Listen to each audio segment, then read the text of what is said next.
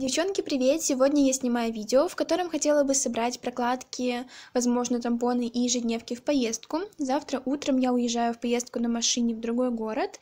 Там, возможно, мы будем на аттракционах, так как они там открылись. И так как у меня задержка, я хотела бы взять несколько прокладок, возможно, даже тампонов, как я и говорила ранее. Потому что вдруг спонтанно начнутся месячные, это будет не очень прикольно. Поэтому я решила все это заснять. Завтра я буду брать вот эту вот сумочку с собой, она идет через плечо, и внутри есть вот такое вот отделение на замочке, куда я и хотела бы все сложить. Я хочу взять около четырех прокладок, так как я уезжаю рано утром, и я не знаю, какой обильности у меня могут быть месячные, так как вообще это всегда по-разному. Э, в первую очередь я хотела бы взять вот такие вот прокладки Always Sensitive с мягкой поверхностью, точнее с мягкой сеточкой на 4 капельки второго размера одну прокладочку. Прокладка в открытом виде. Вот так вот она выглядит. У нее такой нежно-фиолетовый дизайн. Вот здесь вот находится поверхность мягкая сеточка, а по бокам уже мягкая поверхность. Naturella Ultra.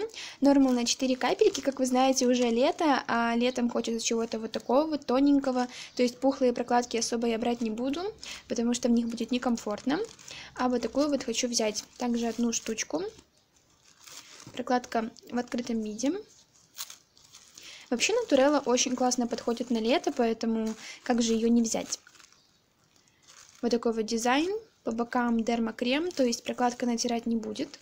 Ну и в принципе они мне нравятся. Также я все-таки решила взять прокладки Always Ultra первого размера на 3 капельки. Да, они с поверхностью сеточка, но все же мне комфортно находиться с такой поверхностью. И я все-таки возьму одну штучку вот так вот она выглядит. Самые обычные Always Ultra, в них нет ничего особенного. Я думаю, вы все знаете, как они выглядят.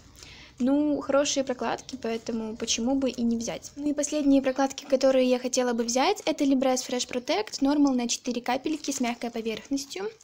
Также одну штучку, это последние. И вот так вот она выглядит в открытом виде. Это со старым дизайном прокладки.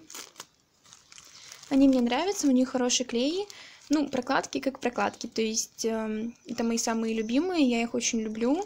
Либрес очень классные, именно Fresh Protect. На всякий случай возьму один тампон, Tampax Compact регулярно, две капельки.